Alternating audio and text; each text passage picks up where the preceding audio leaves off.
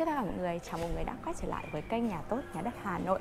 Trong video này Ngọc Ánh sẽ quay và gửi tới quý vị một căn nhà ngõ thông có thể kinh doanh nhỏ. Với căn nhà này thì vừa mới hoàn thiện xong hết, có thể dọn đồ về ở ngay. Vị trí thì thuộc phương Phú Lương, quận Hà Đông, thành phố Hà Nội. Với cái trục ngõ này thì hiện tại đang có một số cái đơn vị kinh doanh ví dụ như là hàng tạp hóa này, hiệu thuốc này, gió trà này và cũng là gần như là một trong số những cái ngõ trục chính ở cái căn nhà này. Với cái thông số nhà 30,7 mét vuông thiết kế và xây dựng là 5 tầng. Căn nhà này vừa mới hoàn thiện xong hết có thể dọn đồ về và ở luôn. Thông số nhà thì mặt tiền của ngôi nhà là 3m3 chiều dài của ngôi nhà 9m63 mọi người ạ.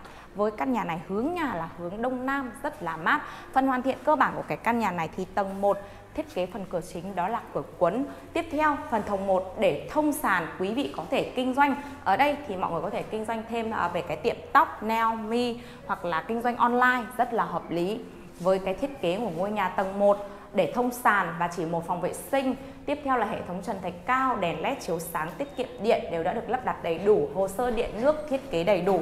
Căn nhà này thì vị trí của nó rất là gần với lại trường Đại Nam, gần à, với lại trục đường quốc lộ 21 gần với bến xe Yên Nghĩa mọi người ạ.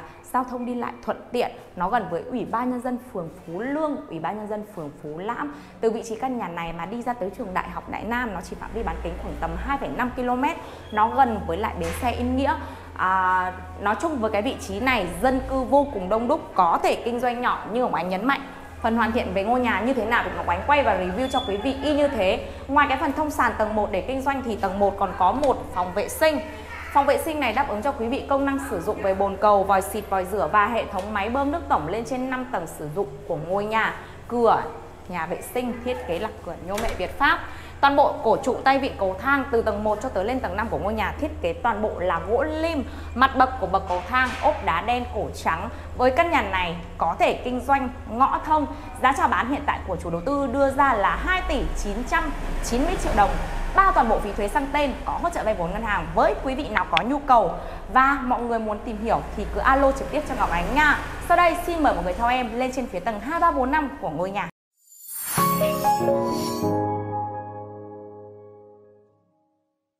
Hoành đang bước chân lên trên phía tầng 2 của ngôi nhà thì với tầng 2 này thiết kế phòng bếp ở trên tầng 2.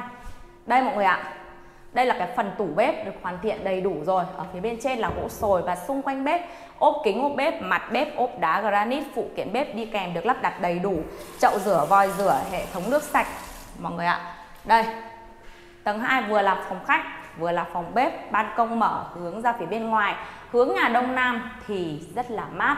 Ngói sẽ chia sẻ thêm với mọi người về cái vị trí phường Phú Lương này. Nó rất là gần với lại ờ, khu đô thị Thanh Hà. Từ vị trí của cái căn nhà này mà đi đường tắt mà ra tới khu đô thị Thanh Hà thì nó sẽ phạm vi bán kính khoảng tầm 1,5 km thôi. Đi lại cực kỳ thuận tiện giá bán cho một cái căn nhà ngõ thông, đường thoáng và có thể kinh doanh như thế này rất là hợp lý rồi mọi người ơi.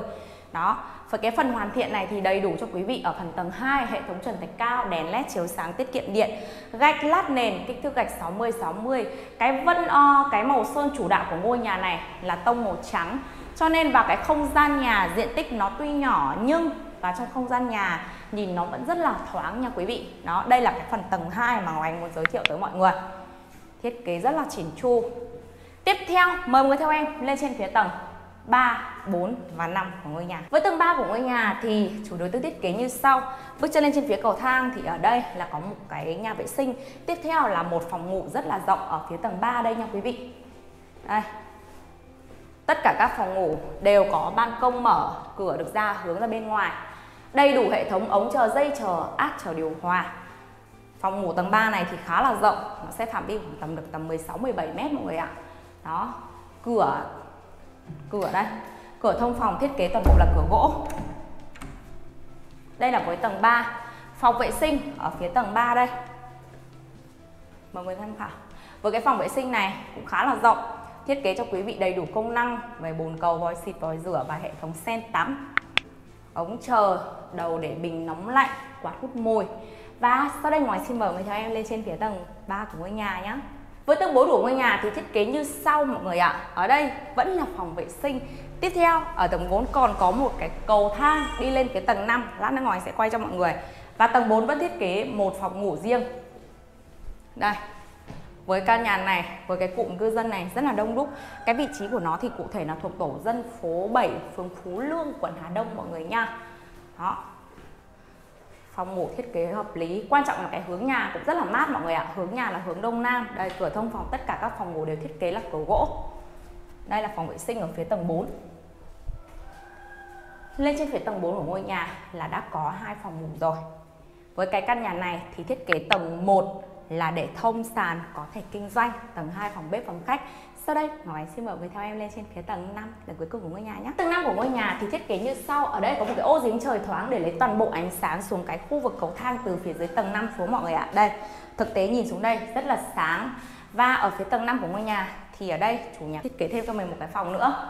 Ở phía tầng 5 cửa sổ thông thoáng.